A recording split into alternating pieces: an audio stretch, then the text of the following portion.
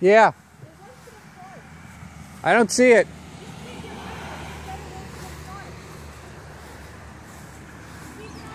There it is. There it is.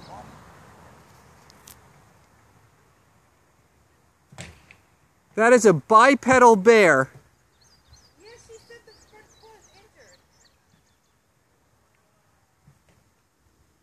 Walking across the street, a bipedal bear.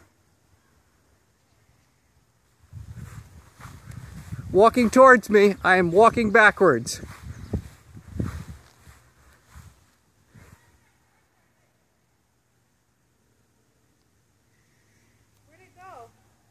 Across the street to that abandoned house. It went into the property. It's walking through the front yard right now. I see it.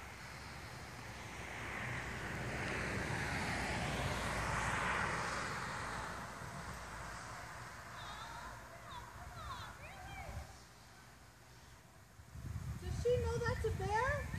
You know that's a bear, right?